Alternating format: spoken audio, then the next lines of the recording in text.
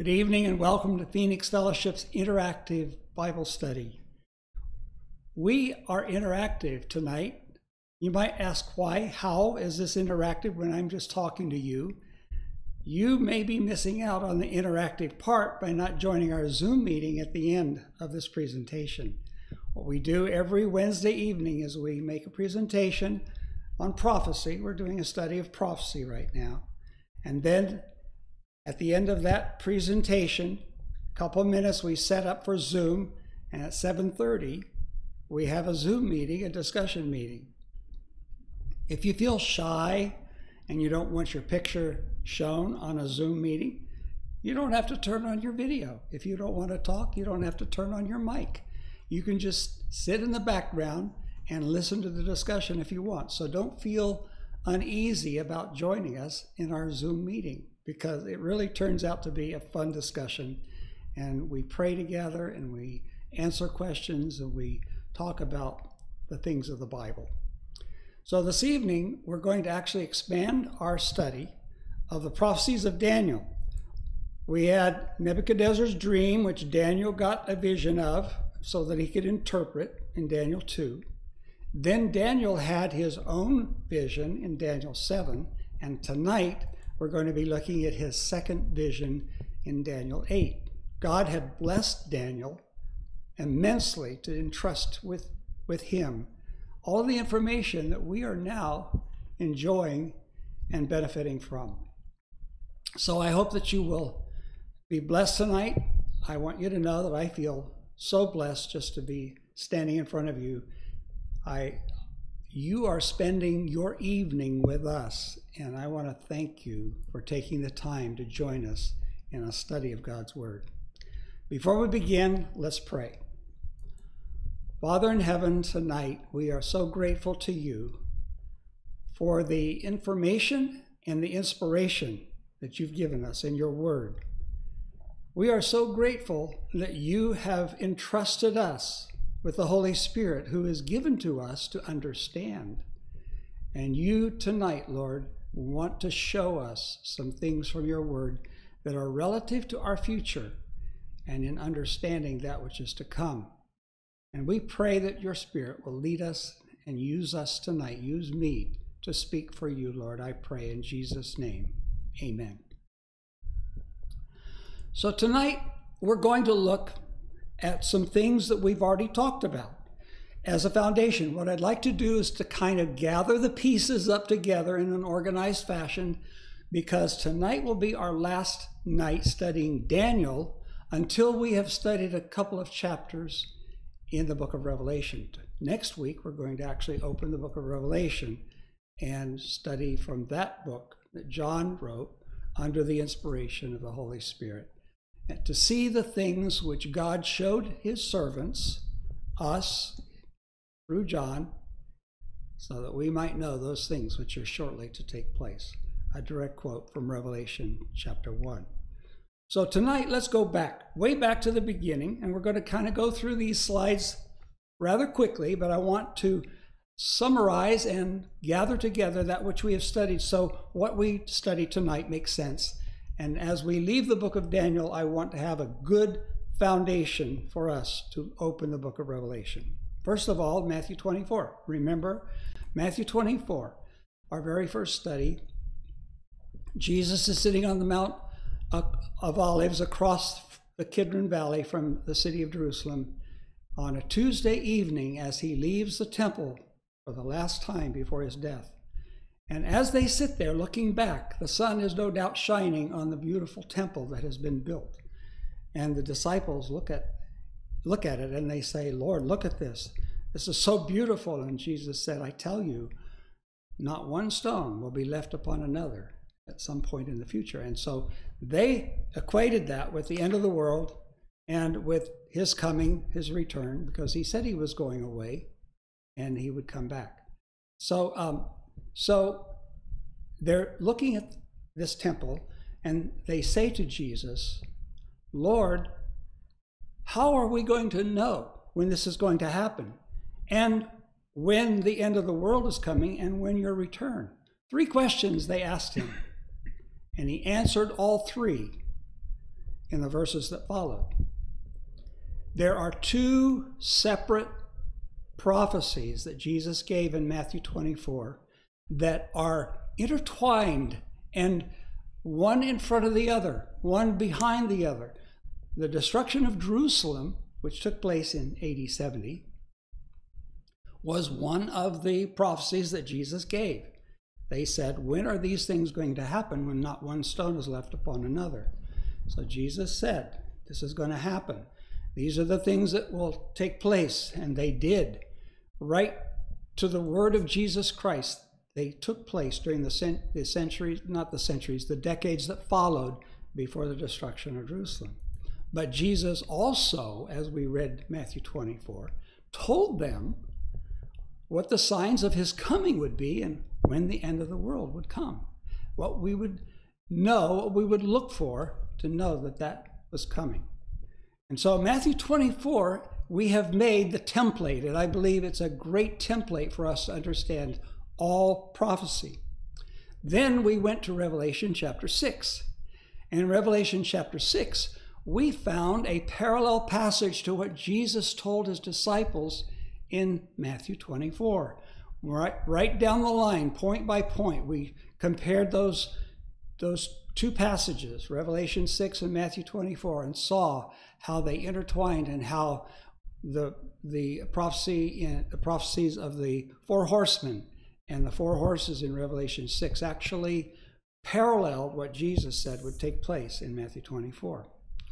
It all ended where? Where did that prophecy end? At the end. At the end, with the coming of Jesus, the end of the world.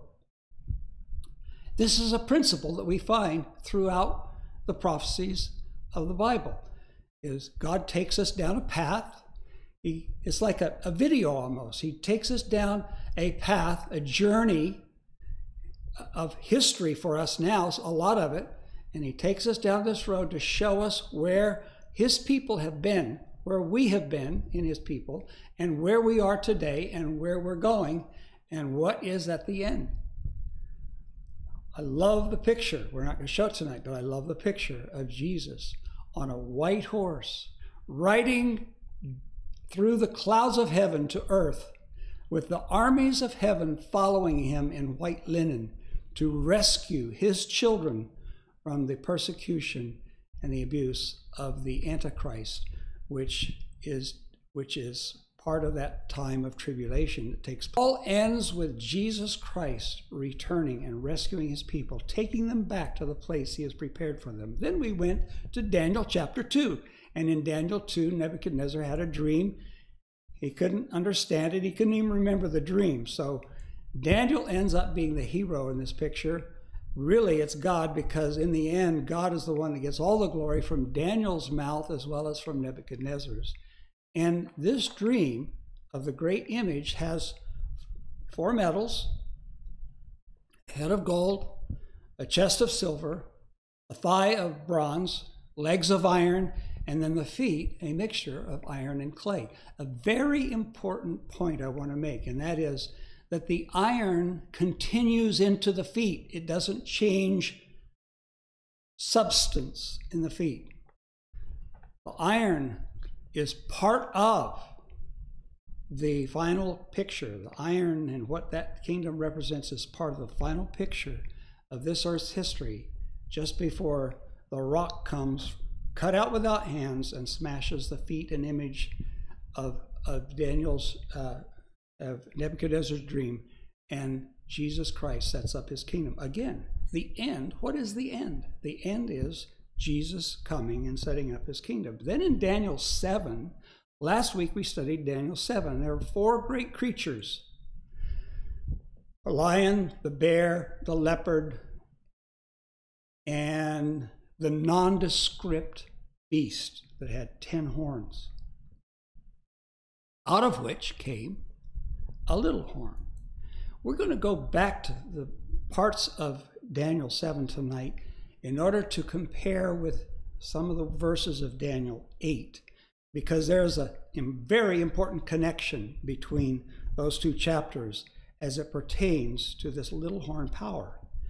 And might I say that these prophecies reach all the way back into history, but they're like a funnel that leads us all to a point in time that is yet future that ends with the coming of Jesus Christ. He promised he would come back. He will come back. And these prophecies tell us what is going to take place in the world before he returns. And honestly, the prophecies that are still yet to be fulfilled are the focus, really the focus of these chapters. You might think, well, we're spending so much time on the metals and the beasts and the horns and all of these things that are being described. Really, they are all leading to a focal point on the little horn power that persecutes the people of God at the end of time. We still have that yet to talk about, but it all is pointing to that point in time. This is the foundation that is being set for us to understand those things which are yet future. Now, included in these portraits of the end is the Great Tribulation. What did Jesus say in Matthew 24? There would be a time of trouble such as has not been since the end any in the past or in the future, ever. He says we're going to face a time of trouble like never before. The Great Tribulation is included in these portraits. The return of Jesus is included in these portraits. And often we will see reference to a judgment that takes place. Nothing for us to fear because Jesus said in the, in the book of John, He said, He who believes in me has passed from death to life and shall not enter into judgment. Praise God for that. There is a judgment coming. But we have been judged in the person of Jesus Christ. We were judged with him on the cross, on Calvary's cross. We were there in him as he took us in himself to the cross, paid our sins, so that we do not have to go through the judgment. That would be double jeopardy. To have to pay for our sins by facing a judgment and a condemning sentence would be double jeopardy because Jesus Christ on the cross of Calvary paid for our sins. There is no second judgment, second death for those who are in Christ. No judgment for them. So these things are things that we have and we'll talk about even more. I'd like now to go to the book of Daniel, chapter 8, and we're going to read through the first eight verses we have new imagery here in these, in these verses. But you're going to see that there is another parallel of what we have already studied, recorded in these verses. Daniel 8, beginning with verse 1.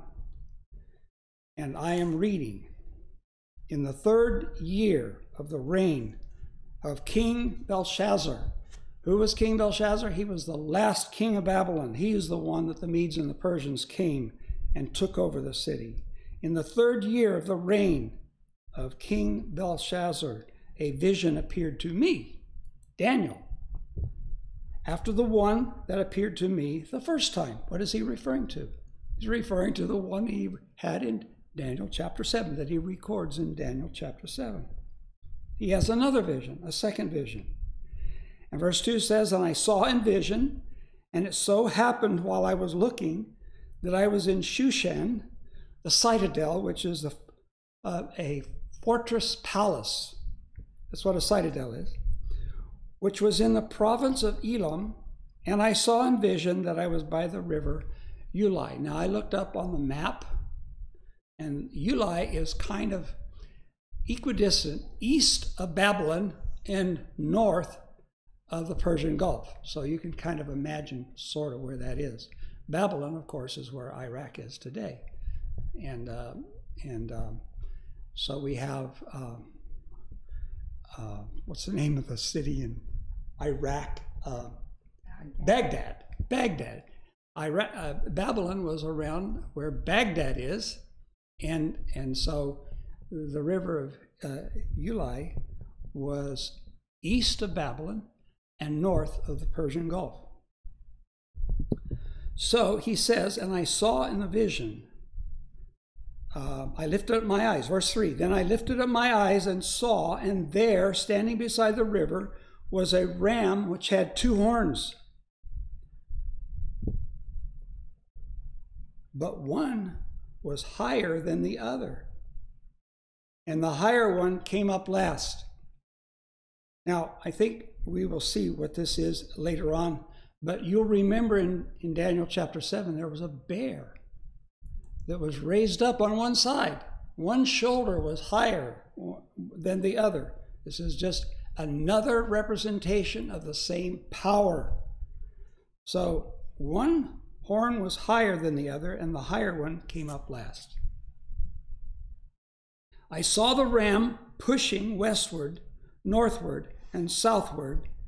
In other words, every direction, so that no animal could withstand him nor was there any that could deliver from his hand. But he did according to his will and became great. Verse 5 And as I was considering, suddenly a male goat came from the west across the surface of the whole earth without touching the ground. And the goat had a notable horn between his eyes. What did we learn in previous studies? that horns represent. horns represent a division of power. There's only one horn, there's only one, one power. And this power was coming across the earth from the west so fast and so quickly and swiftly that he wasn't even touching the ground, it said. And he had a notable horn between his eyes. Then he came to the ram that had two horns, which I had seen standing by the river, and ran at him with furious power. And I saw him confronting the ram.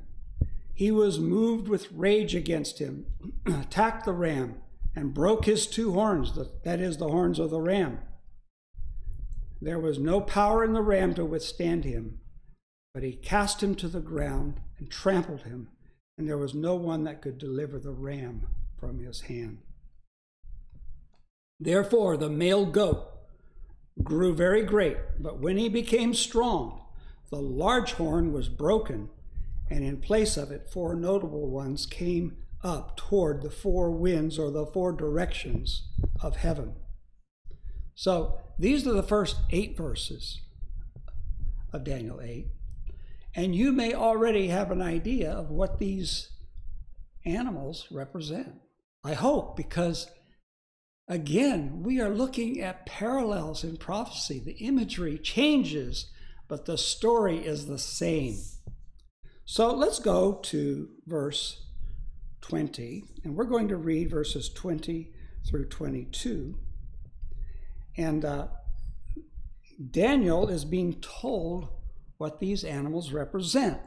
So, this is another one of those things that God does for us he says, Here, I want to show you something. And then he takes the pieces of the puzzle and says, Put this piece here and put that piece here. That's what this piece is. And this is where this piece goes. He wants us to know the things that are coming upon this world and upon us and are part of our lives. So, in, in Daniel 8 and verse 20, he says, The ram which you saw having the two horns are what? The kings of Media and Persia. Did you guess that already? Remember the bear? He's raised up on one side, and one is in this. And in Daniel eight, we have we have the the uh, the ram with two horns, and one is higher than the other, and the higher one comes up last Media and Persia. And the male goat is the kingdom of Greece, and the large horn that is between its eyes is the first king. As for the broken horn and the four that stood up in its place, four kingdoms shall arise out of that nation, but not with its power. So, what did we learn last week about, about, about Medo Persia and Greece? What did we learn about them? First of all, Medo Persia was a family operation. Darius was the Mede, and his nephew Cyrus was the Persian. Darius is the one that went in under his direction and took over Babylon, but Cyrus, the Persian, is the one that became the most powerful in the Medo Persian Empire.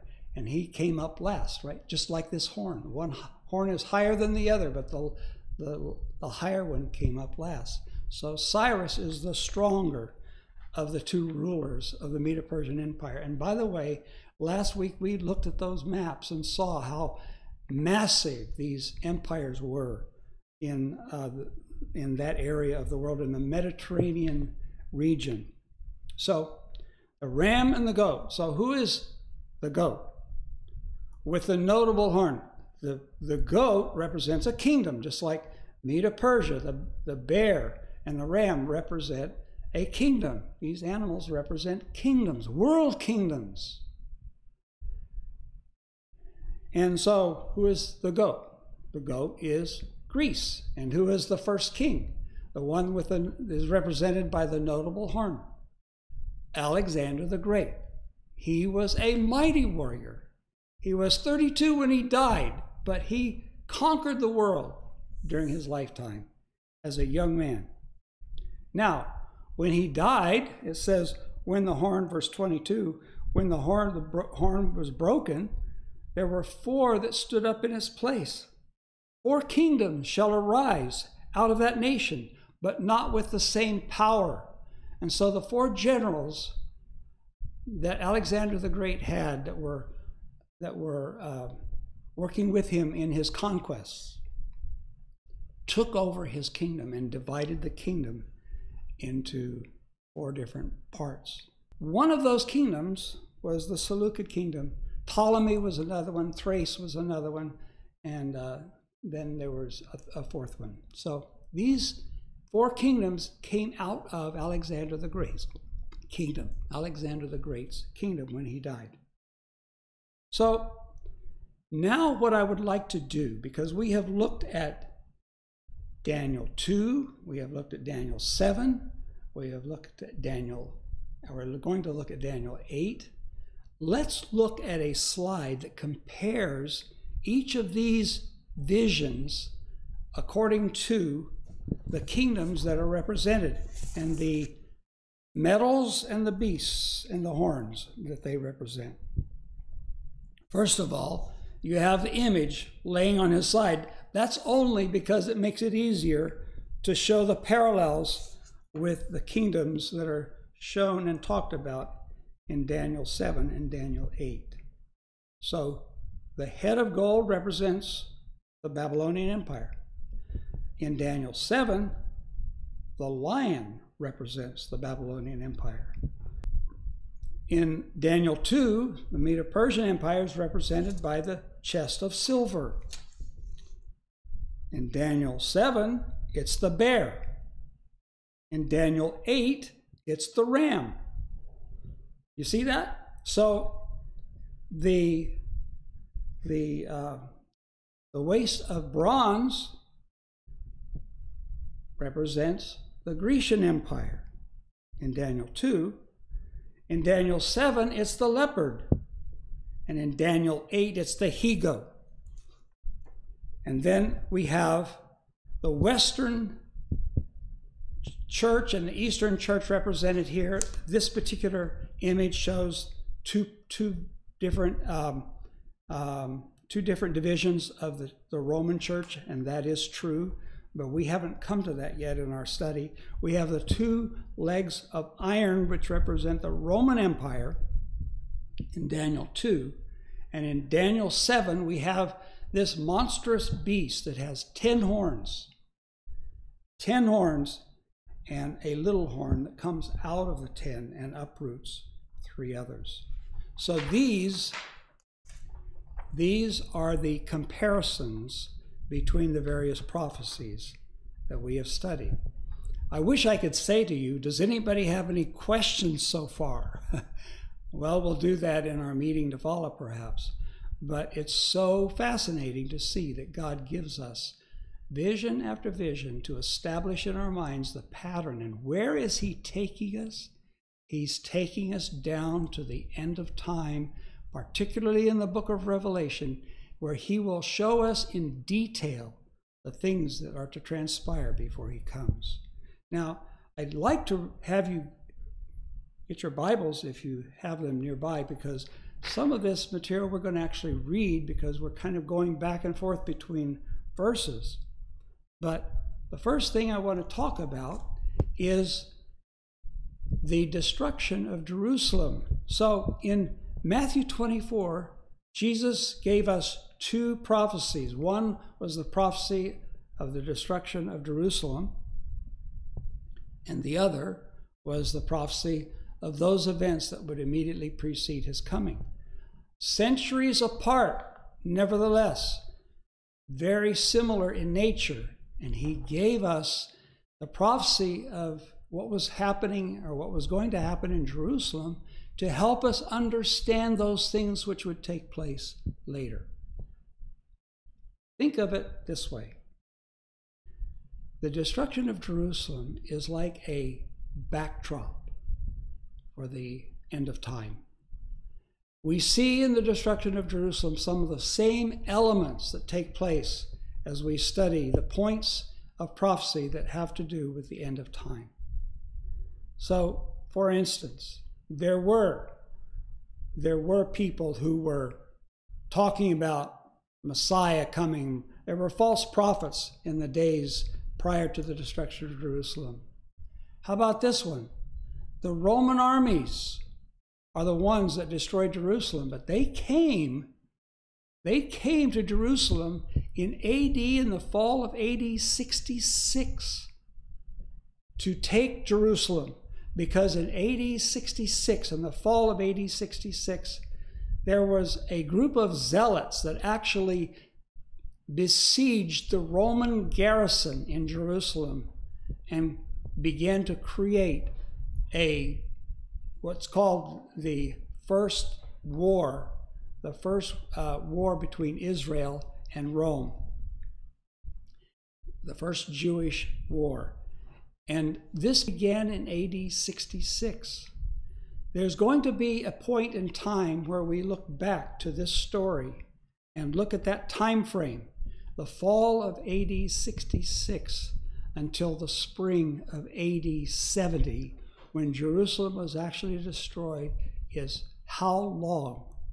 The fall of AD 66 to the spring of AD 70, when Jerusalem was actually destroyed. That is a period of three and a half years. We're going to see that time element in in the prophecies of Daniel and Revelation as we continue our study. But Jerusalem fell just as Jesus said it would, and the Roman armies surrounded the city, were routed by the Jews, and then came back three and a half years later and actually destroy Jerusalem. Jesus said, Jesus said through Luke, when you see the armies surrounding the city, know that the destruction is near. Know. And believe it or not, there were Christians in the city who remembered that prophecy and who escaped. When the Romans were routed in the fall of AD 66, they escaped and they did not die in the destruction of Jerusalem three and a half years later. These are elements that we're going to look at again. So, Matthew 24 is repeated in Daniel 8. How? We have the same situation where literal Israel is experiencing something that spiritual Israel will experience later, and that becomes a backdrop and a type for that which takes place at the end of time. Let's look at Daniel 7, beginning with verse 23. Follow with me in your Bibles. Daniel 7, beginning with verse 23.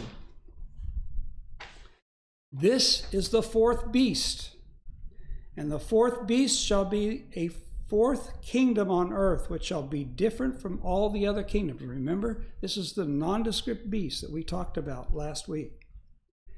And shall devour the whole earth, trample it, and break it in pieces. What, what beast, what power did that represent?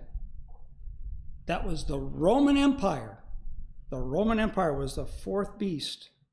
And it had 10 horns. And these it says, are ten kings who shall arise from this kingdom. And we talked last week about how out of Rome. There were approximately 10 kingdoms that some of which can now be found in our world today, like France and you know Anglo-Saxon uh, uh, Europe and and the German uh, element, the Huns, and various of these, the Huns, the Ostrogoths, the Visigoths, the Heruli, the Burgundy, Burgundians, and the Lombardians, all of these nations that came out of Rome, uh, the ten horns that came out of Rome, are still nations today. What did, what did God tell Nebuchadnezzar and Daniel in Daniel chapter 2? That the element of Rome would continue through to the end of the world, to, to when the stone is cut out without hands and comes and crushes this image. But these nations that are associated with this element of Rome will not, will not cling together. They will mingle, but they will not adhere together as a world kingdom like all of the kingdoms before. So, it says in verse 24 the ten horns are ten kings who shall arise from this kingdom, the kingdom, the empire of Rome and another shall rise after them. He shall be different from the first ones, and shall subdue three kings. And he did. He shall speak pompous words against the Most High. He shall persecute the saints of the Most High. He shall think to change times and laws that seems odd. Why would we be concerned about a power changing times and laws? We have different times now, and we have different laws in various parts of the world. These are obviously not the times and the laws of the world, but the times and the law of God. He shall think to change, he shall intend to change times and law. Then the saints shall be given into his hand for a time times and a half a time. What is that? Well, if you go back to uh, Daniel chapter 4 and verse 16, where we have the story of Nebuchadnezzar having to, um, he, you know, he goes out on the balcony of his, his uh, palace one day and he looks over the kingdom and says, Look at this great kingdom that I have built aren't I great? And he's basically kind of worshiping himself. He's so proud. And he ends up having, God judges him for his pride. And he ends up eating with the beasts of the field for, for how long? Well, what does it say? Daniel 4, verse 16 says, Let his heart be changed from that of a man, let him be given the heart of a beast, and let seven times pass over him. Seven times. You look in your margin, it'll tell you that a time represents a year. So we have seven times, seven years. Nebuchadnezzar ate grass. You can imagine what he looked like at the end of that, that period of time. Over here, we have this power having uh, power over the saints for a time. What's a time? A year. Times, plural, two, and a half a time. What is one plus two plus a half? Three and a half years. Three and a half years. Get used to this time prophecy because we see it over and over again in Daniel and Revelation. This is an important piece of information in understanding those things which are to come. The saints shall be given into his hand. This power will have power over the saints for time times half a time for three and a half years. We'll come to that again. But the first question I want to ask now is about this where does this little horn power come from? Out of what empire does this little horn power come? I can't hear you. What are you telling me?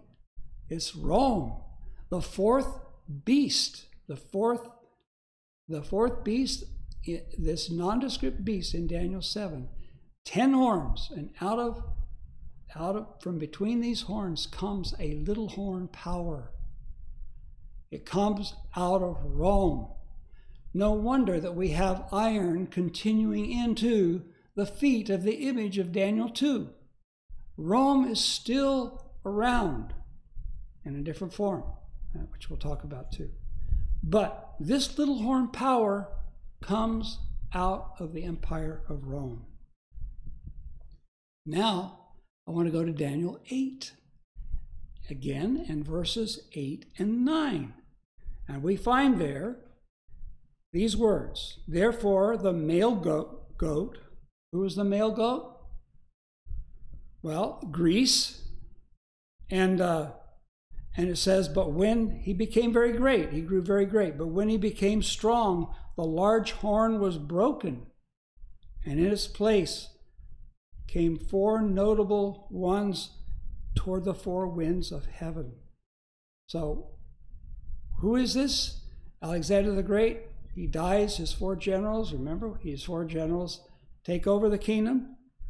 And notice, notice, it says, out of one of them came a little horn, out of one of which came a little horn, out of one of those four horns that took the place of Alexander's power.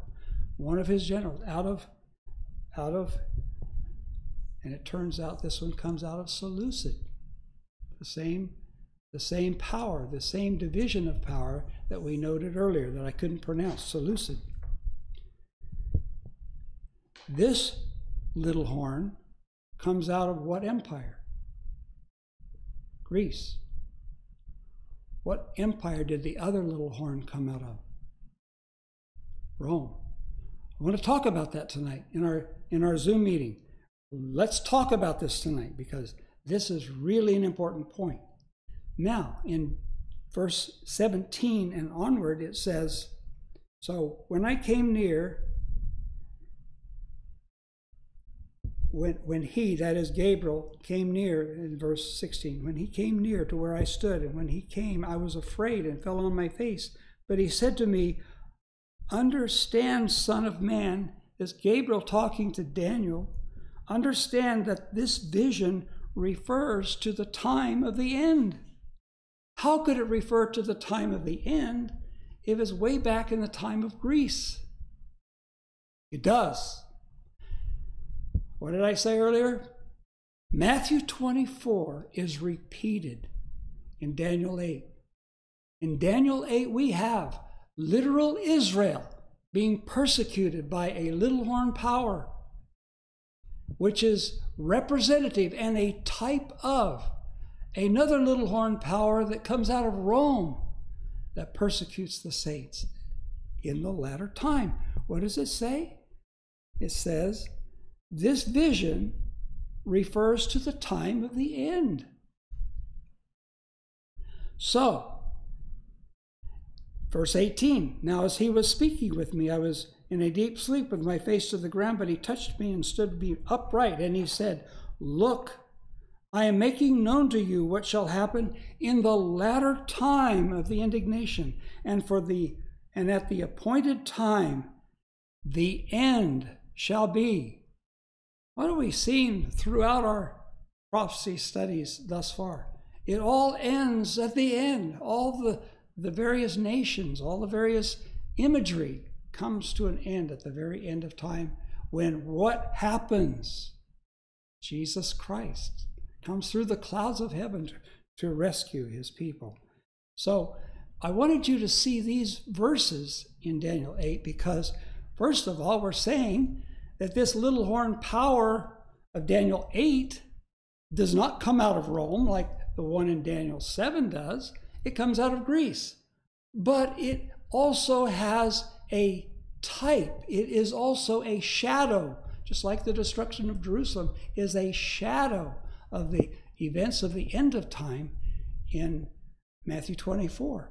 So in Daniel 8, we have this power that comes out of Greece, this little horn power,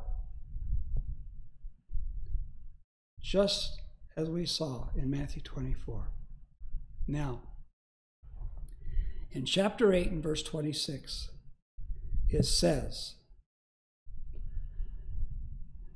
chapter 8 and verse 26. and the vision of the evenings and the mornings. Vision. The vision of the evenings and the mornings. What vision of the evenings and the mornings? Which was told is true. Therefore, seal up the vision, for it refers to many days in the future. Oh, we went past a verse in Daniel chapter 8 that we're going to talk about tonight in our Zoom meeting. I hope you are there. So in Daniel 8, we have a description of this power. This power in, uh, in verse, um, verse 9 and onward. Let's read verse Daniel 8, verse 9, all the way to verse 14. And out of one of them, that is, out of one of these uh, notable horns that came up, the Seleucid kingdom, out of one of them came a little horn, which grew exceedingly great toward the south, and it did, toward the east, and it did, and toward the glorious land. Where is the glorious land? It's Palestine. And it grew up to the host of heaven, and it cast down some of the host and some of the stars to the ground and trampled them. So it looks a little bit like what we read in Daniel 7. And he exalted himself as high as the prince of the host. And by him the daily sacrifices were taken away, and the place of his sanctuary was cast down. This is a power that is against God. This is a type of the Antichrist. This is a this is a, a shadow power of the Antichrist. Remember, he comes out of Greece, not Rome. It's a different power. It's a different little horn. But he's but he has all of the characteristics of the little horn power of Daniel 7. And then I heard a holy one, verse 13, speaking. And another holy one said to that certain one who was speaking, How long will the vision be concerning the daily sacrifice and the transgression of desolation and the giving of both the sanctuary and the host to be trampled underfoot. You see who this power is. He is an enemy of God, an enemy of God's people. He is an enemy of God's people. And he said to me, For 2,300 days, then shall the sanctuary be cleansed. That word cleansed can also be translated vindicated or set right or justified, put back in order. The sanctuary will be cleansed. 2,300 mornings and evenings. Same language as we find in Genesis 1. Mornings and evenings. And the evening and the morning was the first day. So 2,300 literal days sanctuary will be trodden down and the people of God trodden down. Literal Israel of old. And how long? 2,300 days. How long is 2,300 days? It's not 1,260. It's not a time times a dividing of time. It's not a time times and half a time. It's not three and a half years. 2,300 days is equivalent to six years plus, six years and four months plus, about six years, four months, and 18 days. when you divide it up 30 days or a month. Six years and four months plus. So, this is, I, I want you to know I've been so excited about studying this today. Who is this sinister power that is talked about? Well, I want to go back another another text in chapter 12. We're going to go to chapter 12 just for another text to compare with the one we read in Daniel 8 and verse 26, where it says, to Daniel, seal up the vision, for it refers to many days in the future. In Daniel 12 and verse 7,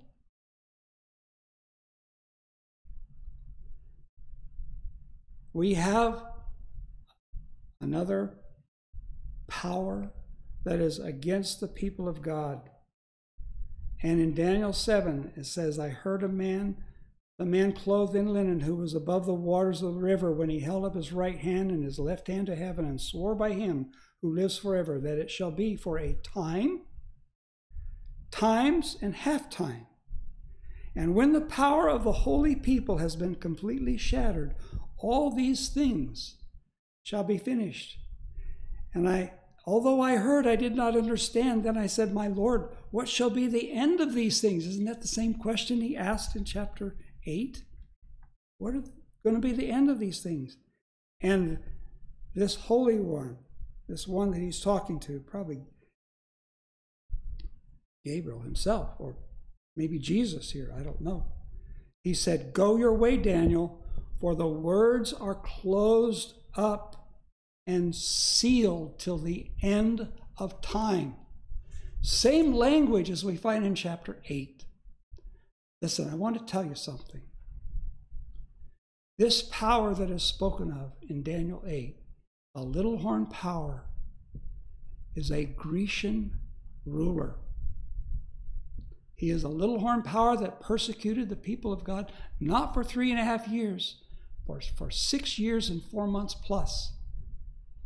I want to show you another slide.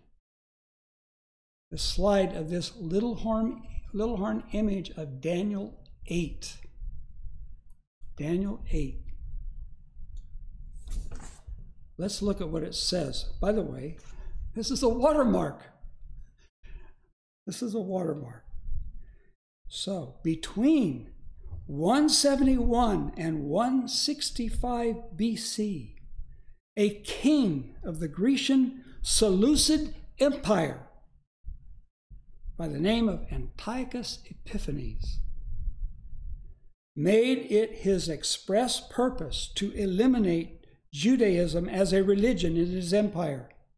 During this period, approximately 2300 days, as per the prophecy of Daniel 8:14, his reign over the Jews was marked by horrific destruction, desecration, and bloodshed. He tortured and murdered thousands who refused to abandon their faith. One estimate is 80,000 Jews were either murdered or sold to slavery during this period of time. Among the forbidden practices which were, were for him the rite of circumcision, the study of the Torah, and the keeping of the Jewish, Jewish dietary laws, all of which, the violation of which could be death. The Jews' holy temple, he placed a statue of Zeus, the god he believed was manifested in his own royal being, and he sacrificed swine on the altar. He stripped the temple of its sacred vessels, including the seven branched golden menorah and he stole the silver and the gold. Antiochus Epiphanes is the type of the Antichrist in the Old Testament for literal Israel. The little horn power of Daniel 7 is the Antichrist of spiritual Israel at the end of time. And Daniel 8 gives us a shadow picture of the Antichrist. Now, if you think that this guy, Antiochus Epiphanes, was just some sort of just little piece of history that had no had no impact on the present day. Tell me something. What is Hanukkah all about for the Jews of today? Why do they celebrate Hanukkah every year? Eight days, a feast for Hanukkah. They are celebrating. To this day, they celebrate the recovery from Antiochus Epiphany, Epiphanes, the recovery and the restitution of the temple and temple worship. Yes, Hanukkah is a big deal for literal Israel. The little horn power of Daniel 8 is from Greece. He reigned and persecuted the Jews for six years, a little more than six years. From what was the date again? From 171 BC to 165 BC. That's going backwards now because 171 is further back than 164. So, this is the length of time that he persecuted literal Israel as the little horn power of Daniel 7 will persecute the people of God. We will find this in the book of Revelation when we open that book starting next week. Let's talk about this tonight. What do you say? And let's pray right now. Father in heaven, thank you for this puzzle. Thank you for giving us the understanding of how to put this puzzle together. By naming these nations, by giving us information, it helps us to lay out this picture of prophecy, of which we are a part in the timeline. And we are approaching the end of time when all of these things that are prophesied will be fulfilled. What a privilege to live in